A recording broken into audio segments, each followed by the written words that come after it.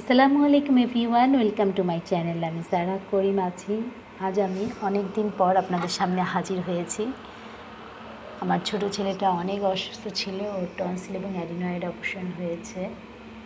এখন কিছুটা সুস্থ, তাই আপনাদের সামনে রেসিপি নিয়ে এসেছি।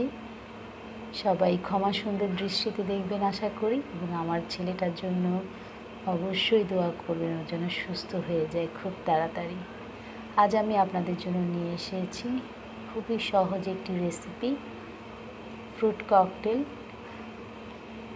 কিংবা বলতে পারেন ফ্রুটসের ড্রিঙ্কস খুব সহজ, ঝটপট তৈরি করে নেওয়া যায়। আশা করি আমার রেসিপিটি আপনাদের পছন্দ হয়ে থাকবে। সবজি এবং ফ্রুটস দুটোই নিয়েছি। শশা একটা নিয়েছি মাঝারি সাইজে, গাজরে একটা মাঝারি সাইজ এবং টমেটো নিয়েছি।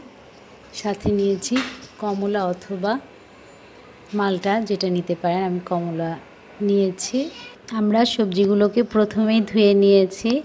এখন শশা এবং গাজরটাকে আমরা ছেড়ে নিব একটা সবজি পিলারের সাহায্যে। আমি কেটে নিচ্ছি, আপনারা চাইলে ছুরি অথবা বটি যে যেভাবে পারেন সেভাবে ছিলে নিতে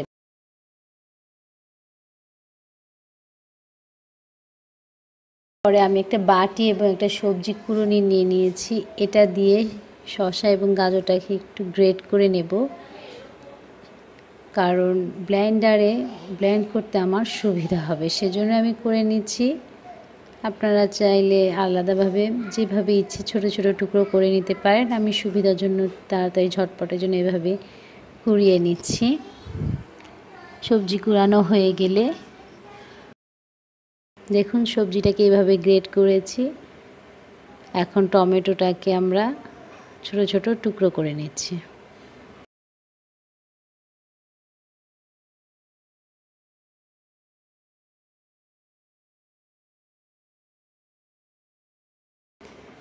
এখন আমি কমলাটাকে এভাবে কেটে নিচ্ছি যাতে বিচিগুলো পরিষ্কার করতে আমার সুবিধা হয়। আপনারা আপনাদের পছন্দ অনুযায়ী ফ্রুটস নিয়ে নিতে পারেন। কমলার জুসটা দিয়ে দেব। আমি এখানে হাফ ব্যবহার করছি, আপনারা চাইলে পুরোটা দিতে পারেন। আমি এভাবে কেটে নিয়েছি বিচি ফেলার সুবিধার জন্য। এখন এইভাবে গ্রেট করে কমলাগুলো উঠিয়ে দিয়ে দেব।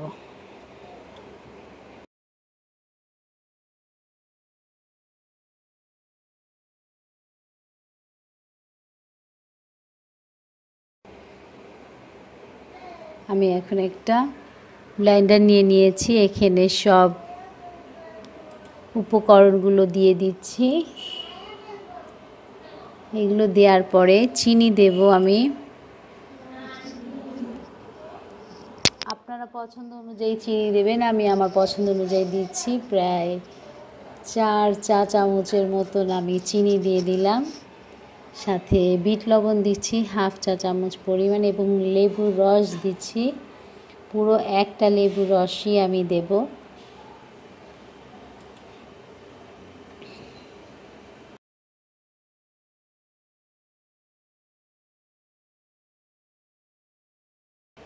আর দিচ্ছি ফ্রিজের ঠান্ডা পানি দুই কাপ পরিমাণ। দিয়ে এখন ব্লেন্ডারটাকে ভালো করে মিহি এড করে নিব। দেখুন সুন্দর করে একদম মিক্স হয়ে গিয়েছে।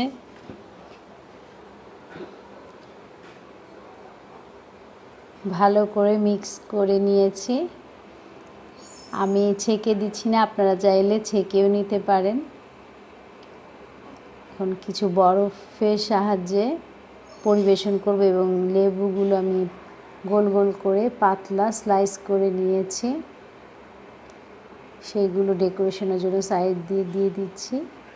সাথে কিছু পুদিনা পাতাও রেখেছি। সেগুলো দিয়ে দিচ্ছি।